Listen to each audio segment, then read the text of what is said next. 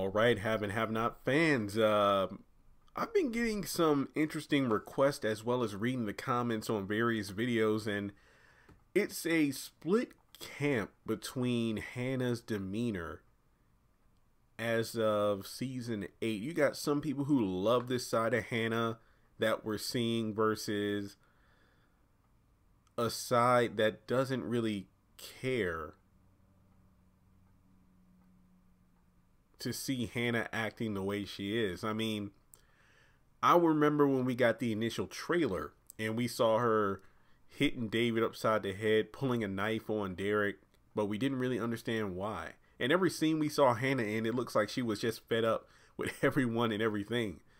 But now that the season has been, well, we're almost at the halfway point, we truly understand that given this power in money, she's definitely had more enemies come her way than ever before, but she's standing her ground.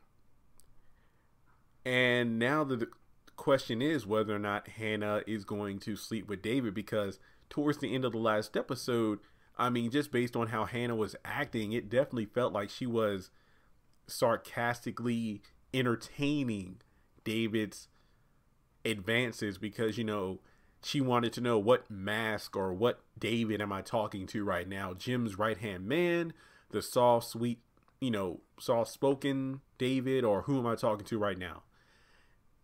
And it seems like she's playing along. But some people are inclined to believe that Hanna will actually sleep with David just to do it. And some people have been telling me that, you know, this might be Tyler writing the more human side of Hanna, but on the contrary, more people are saying that we're seeing a little bit less Christian Hanna and more abrasive, rash, and human Hanna. But I feel like there are a few lessons that could be taken away from this alleged final season where we're definitely seeing the have nots become the haves and vice versa. That no matter how good of a person you are, your upbringing, your religion, your faith, whatever the situation is, money can change you. And I will say that so far it doesn't seem like Hanna her loyalty, you know, to Katheryn isn't in question. I mean, yeah, the next episode Jim is going to offer 25 million, which I feel like is a empty offer because he doesn't even have 25 cents to offer Hanna because the money isn't his.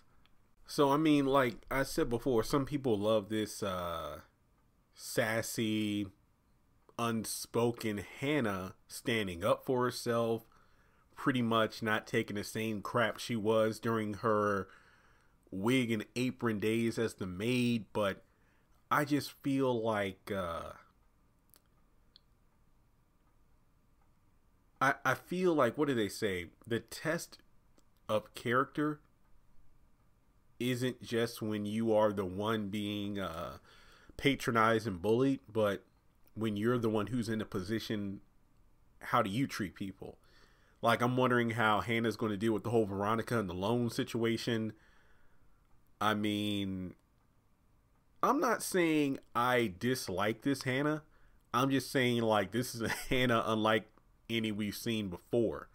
And I feel like for me personally, the biggest letdown of the Hanna character has been allowing her kids to keep not no no not allowing her kids to keep that money that belongs to the Cryers, but the fact that she hasn't really done anything about it. She hasn't allowed them to face the punishment of their actions. That I mean, all she's done is kicked them out of the house, and that's it. But let me know what you think. I mean, I feel bad that all these people keep coming for. I mean, some people are even comparing the way that Katheryn treats Hanna to the way that Jim treats David, where it might not be blatantly in our faces that Hanna's treated as nothing more than the good black friend who's pretty much a gopher, go for this, go for that. That's essentially Hanna. and David. So those two coming together as a result could be interesting, a little awkward, but we'll just have to wait and see. I mean, ironically enough, Katheryn put Hanna in this position of power, and now Jim, who's lacking power, is putting Dave in a position to seduce Hanna to get said power. So, I truly feel like these two might be kindred spirits, but I don't really see these two together. I mean, that's just my opinion, but it, especially when you see all the women David has been with in the show so far, it kind of feels like uh I'm not saying that David's dating down, but it just feels weird. From a powerful white political figure in Maggie Day to allegedly an old flame with the district attorney Jennifer to the whore Erica, a fling with Alyssa, and now Hanna? Just doesn't sit right with me. But let me know what you think in the comment section below. I feel like at the end of the series, Hanna's going to end up a millionaire. I have no doubt about that. So, yeah, let's uh yeah, let's just talk about it below.